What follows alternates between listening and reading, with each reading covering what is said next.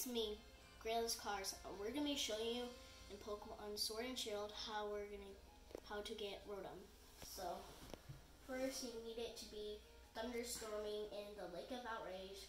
First you need to get your water bike to get there. So go through here, through Giant's Cap. So when you see this big boulder, then you're gonna turn you're gonna see this lake and then go into it and It's a near 2% chance, so it might take you some time to get it. Like how I caught my 2% drop, it took me like 20 or 25 minutes.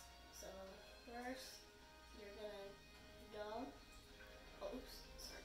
So you gotta go like here and then go back to there. Keep doing that until you'll, um, you see it.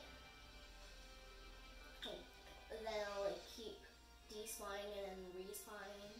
So there's, like keep so keep doing that and then and then soon you'll find it. Boom.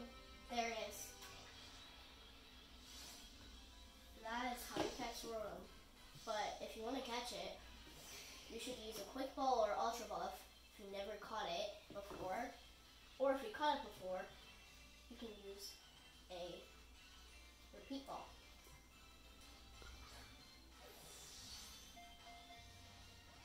What?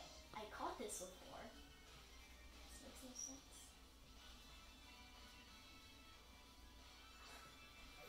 Come on, critical capture. Okay, there. I'll at least a little better. Substitute. That's, that's pretty funny.